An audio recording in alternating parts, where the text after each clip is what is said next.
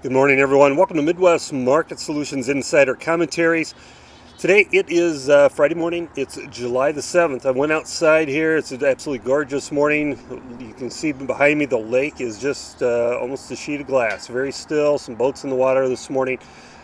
And uh, but lake is going down as far as water levels. It's pretty dry here in northwest Iowa, but not devoid of rain, and it's helped sustain the crops. But there is some rolling of corn in western Iowa that has not received rain, and it's really been a case of uh, some have gotten the rain, a lot of rain in eastern corn belt, western corn belt, very spotty, but the crop is hanging on. You get out in the, the Dakotas, it's a, a bad situation as far as drought goes. Rains at this time of year not going to help out the spring wheat crop. It's, it's way too late. Could help corn and soybeans out a little bit, but uh, certainly going to have some yield reductions. I don't think you're going to see anywhere close to last year's yields in corn and soybeans. It, um, it's going to be very difficult to equate those record yields that we saw. I think this crop is uh, overall an average type crop, and uh, pricing is starting to improve in here. We've seen Uh, higher close in soybeans for eight consecutive days. We've rallied nearly 80 cents to 90 cents off of our lows in the soybean market, and we're getting close to where we should be starting to make some moves as far as marketing and pricing opportunities. In the corn market, we haven't seen as dramatic a rally, but we have December corn back above the $4 mark. We're trading around that 404, 405 in the overnight.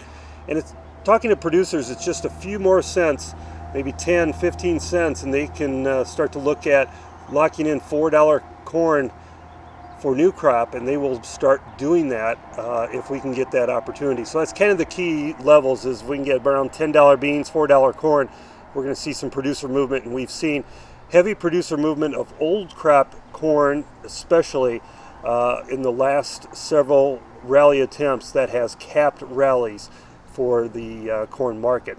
In the livestock trade, cash cattle broke loose yesterday. It was a disappointment to the trade as we saw only one to two dollar losses, but the futures did rally on some hedge lifting. Futures could try and rally again this morning, maybe test some resistance areas, but I uh, don't see any fundamental reason why we will turn the trend back higher. So if you look to sell into this rally, uh, put your stops in above uh, old highs that would turn the trend back to an uptrending market because I don't see that in the cards uh, for the cattle market. Have a great day. Uh, if you haven't signed up for our trade newsletter yet, please do so.